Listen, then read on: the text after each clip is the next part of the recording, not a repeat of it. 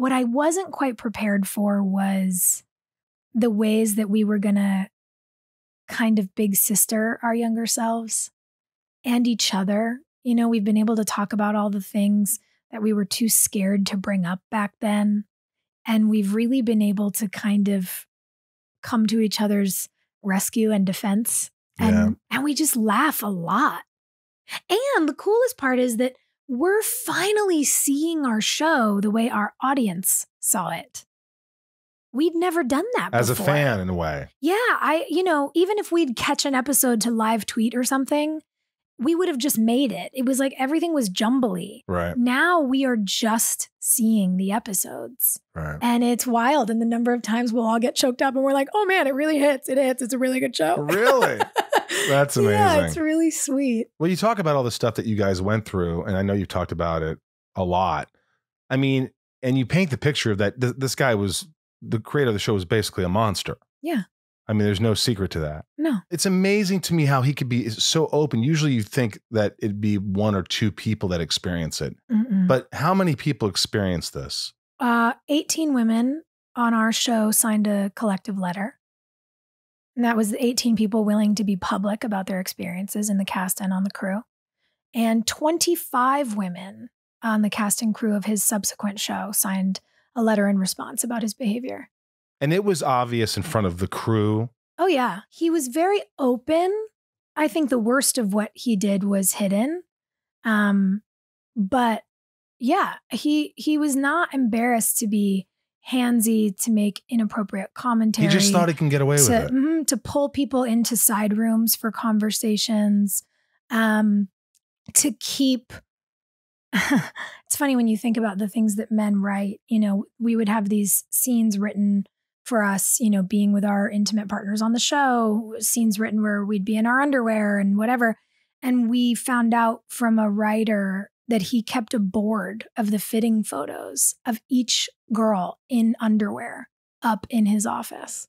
Pictures of us that were taken by the wardrobe supervisor who was a woman, of us in different versions of underwear and or lingerie that the, that then had to be approved, picked, and you know, one would wind up in the show. He just would keep a board of all Jesus these photos. Christ.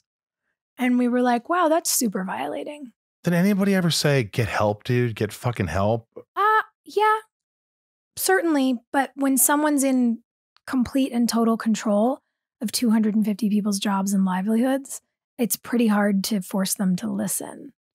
But it was interesting for us, you know, when the show was over, uh, really to hear that it was no secret in the industry either. Right. And he kept working, as they all do, until, you know. This all came out the movement. uh-huh, mhm, And then he was fired off Royals or whatever. mhm. Did you ever, do you, how do you feel if you ever were face to face with him in a room, just the two of you, to have a conversation? Do you think you could keep your composure? I could do a conversation like this. You could. But even as you ask me to imagine it, like the sensation of white hot rage in my chest is not small.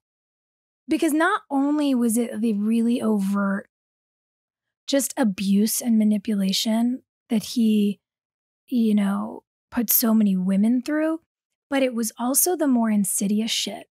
It was telling me that Joy and Hilarie were supposedly talking all this shit about me and then telling Joy that me and Hilarie were talking shit about her, and telling Hilarie that me and Joy were talking shit about her. He he Making you all hate each other. He pitted us against each other. Ugh. And when you're 21 and your 45 year old married boss is telling you that people are coming into his office to talk about you, you don't think he's making it up. And so the ferocity that I feel about the time he stole from us, because we clicked fast and we were really, really close, and he didn't like it. And it took us a long time to realize that you know, when he would talk about never letting us be like the Friends cast, we always thought, like, yeah, lol, like what cast is ever going to get paid that much money an episode? yeah. but what we didn't realize was that he never wanted us to be best friends because then we would talk about money and then we would advocate together. It wouldn't be that kind of money, But join forces. but we would join forces. And we didn't get that at the time. We were kids, we didn't know anything about the business. This was my first TV show.